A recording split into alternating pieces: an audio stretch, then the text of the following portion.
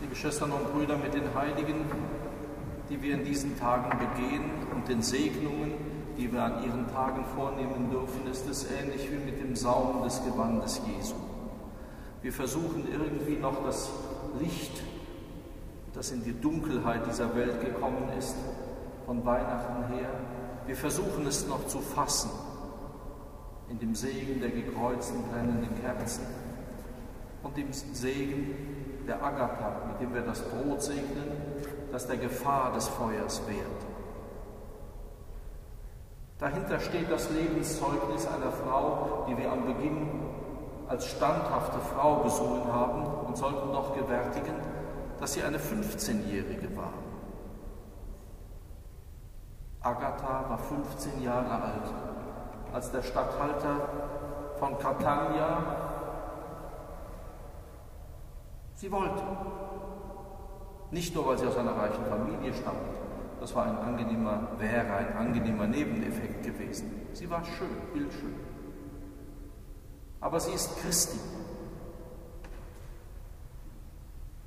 In der Verfolgungswelle unter Decius 250 nach Christus wird sie entsprechend bedrängt und drangsaliert.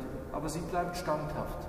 Man mag sich fragen, wo eine 15-jährige damals, wo das Christentum nicht verbreitet war, eine solche Standhaftigkeit hernimmt. All diesen Angeboten und Avancen zu widerstehen. Aber sie tut es. Selbst als sie einen Monat lang von einer entsprechenden Dame bearbeitet ist, die in den tollsten Farben ausmalt, was dann für ein Leben auf sie wartet. Als sie sich mehrmals verweigert, greift der Statthalter zu anderen Mitteln. Er entstellt ihren Leib, unterwirft diesen jungfräulichen, jugendlichen Leib grauenvollen Qualen, bis dahin, dass man ihr die Brüste abschneidet.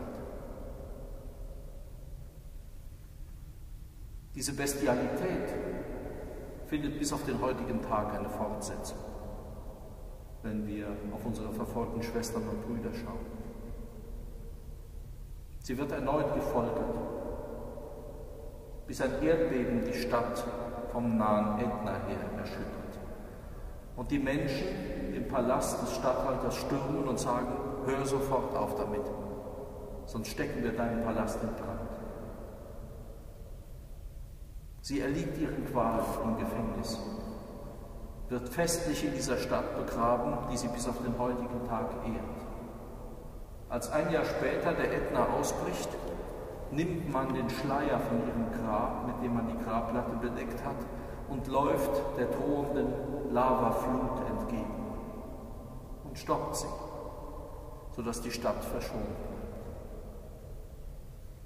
Wieder so eine Feuerheilige, ganz nahe am Weihnachtsfestkreis, mit ihrer ganz eigenen Botschaft, der Treue, des Feuers, das durch Christus in diese Welt gekommen ist das Kraft gibt und standhaft macht.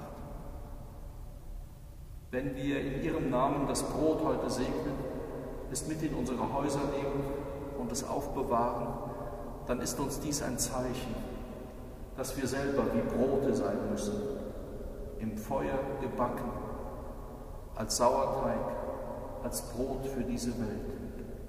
Kein laues Brot, kein Allerweltsbrot, sondern das Brot Christi, der sich selber jeden Tag neu zum Brot gibt, damit wir leben.